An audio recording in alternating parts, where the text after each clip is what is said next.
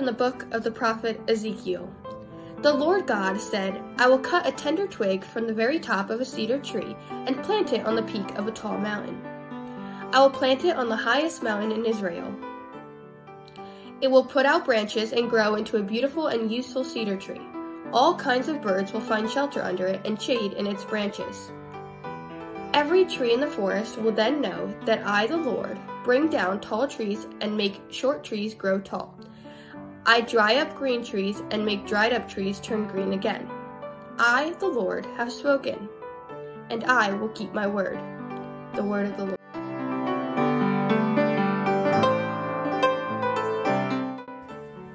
Our response is, Lord, it is good to give thanks to you. Lord, it is good to give thanks to you.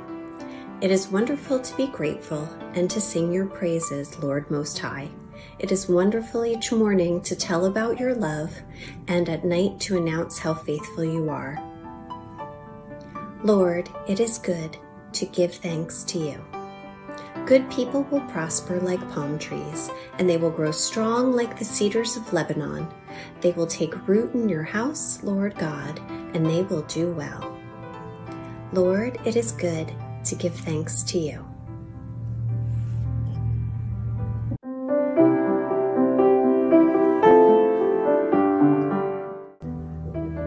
A reading from the second letter of Paul to the Corinthians. Brothers and sisters, always be cheerful. As long as we are in these bodies, we are away from the Lord. But we live by faith, not by what we see. We should be cheerful because we would rather leave these bodies and be at home with the Lord.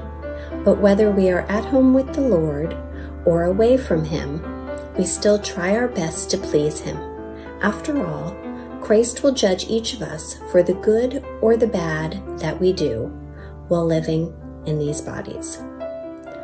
The Word of the Lord. Thanks be to God.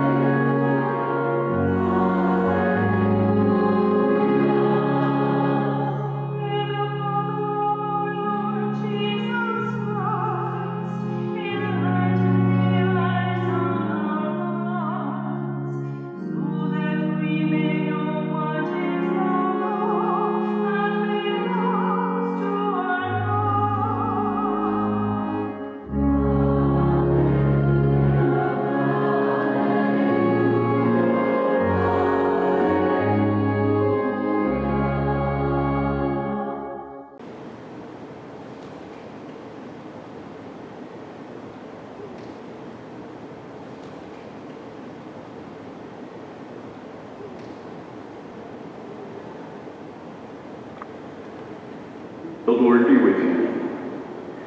A reading from the Holy Gospel according to Mark.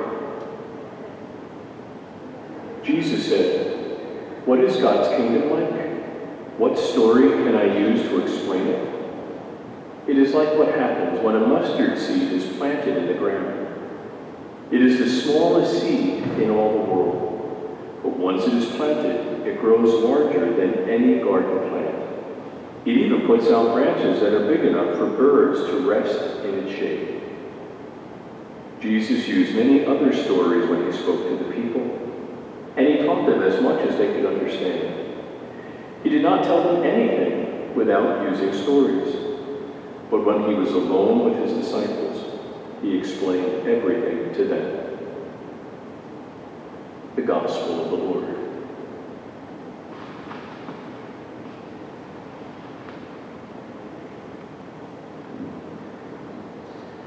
My dear children, today we hear an interesting gospel story in which Jesus begins to tell stories. Now, sometimes people have asked me, how come I almost always begin my homily with a joke? And the answer is simple. That's what Jesus did. It wasn't always a joke, but it was almost always a story. And some of them were very funny to those people back then, although we don't seem to grasp that. We don't seem to get the humor because our world is so different. What do I mean by that? Well, we just heard what the gospel said. He only taught the people by beginning with a story, whether it was a mustard seed or a man who had two sons or a farmer who goes out to sow seed and throws them all over, or uh, there were just so many stories that he. He did that for a few reasons. One, it got their attention. Two, it got them to start thinking. And then three, it set the stage so that later on he could explain whatever the lesson was that day. Which is, for the most part, exactly what I do when I begin with a story or a joke. I help people to better understand the message of the gospel. At least I hope I do. So what was the message of today? Well, some people, when they hear this, like scientists will say, the mustard seed is not the smallest seed. There are smaller seeds in the world, and Jesus didn't mean the story to be taken literally. He wasn't giving us a science lesson. He was just making a point. And the point is, from the smallest of things, if it is planted, it will grow, sometimes into the biggest thing. And people would find that hilarious. You mean from this tiny little thing, something big is going to happen? Absolutely. And that's where you come in. You who are little in height, sometimes people don't even see you when you're in church because you're so small. Because of you, there are many bigger people who come back to church. I know some of you, when we celebrated your first communion, your grandparents, your aunts and uncles, others came just to see it. And perhaps it was one of the few times Jesus got to speak to them in church. And so you made as little as you are, you made big things happen.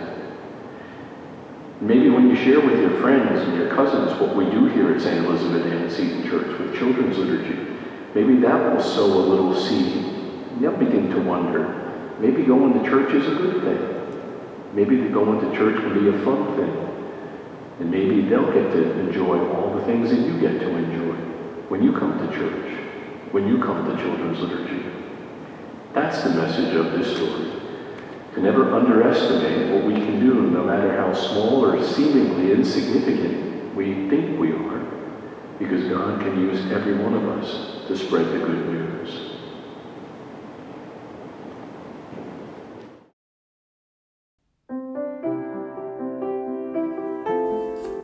I believe in one God, the Father Almighty, maker of heaven and earth, of all things visible and invisible I believe in one Lord Jesus Christ, the only begotten Son of God, born of the Father before all ages. God from God, light from light, true God from true God, begotten not made, consubstantial with the Father. Through him all things were made. For us men and for our salvation he came down from heaven, and by the Holy Spirit was incarnate of the Virgin Mary and became man. For our sake he was crucified under Pontius Pilate. He suffered death and was buried, and rose again on the third day in accordance with the Scriptures.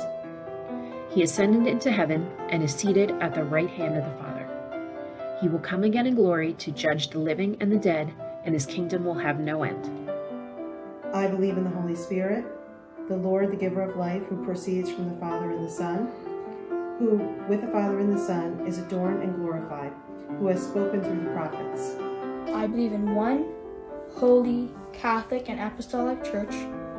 I confess one baptism for the forgiveness of sin, and I look forward to the resur- resurrection of the dead and the life of the world to come. Amen.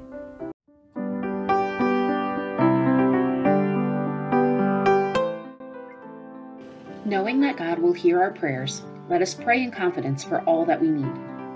When I say, we pray, you say, Lord, hear our prayer. May the day quickly come when all believers are united in praise of the one true God.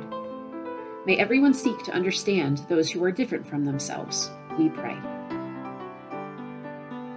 May every person be treated with respect and dignity as a beloved child of God. May all in the military and the missions and their loved ones be safe and secure, we pray. May the faith and joy of believers attract unbelievers into God's loving arms and into his church. May our parish be blessed with an increase in priests, deacons, brothers, and sisters, we pray. May those on the verge of giving up find strength, and those filled with doubt be filled with faith, we pray. If you have people you'd like to pray for, please do that now.